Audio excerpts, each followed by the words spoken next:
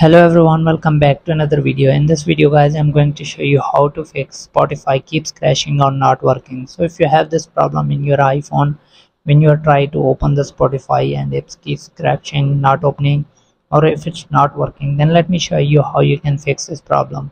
So before we start the video hit the like button and subscribe to the channel for more upcoming videos.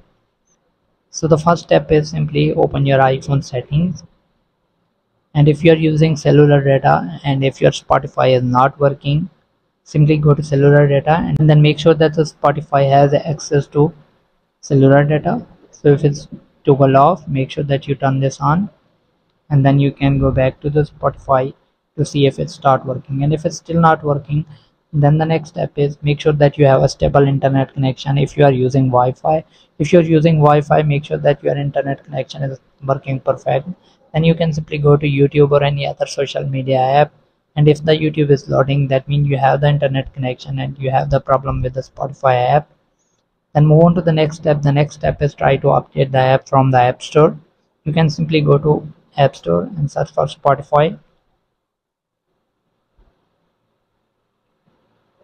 And see if the update is available. So if you get the update button simply click on update and the app will start updating so once you have done this and if the problem is still there if your spotify is keeps crashing and not working then the last step is simply go to settings click on general scroll down click on iphone storage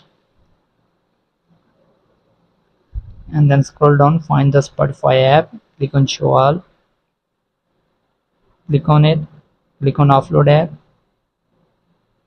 So once you've done this you will get this reinstall option click on it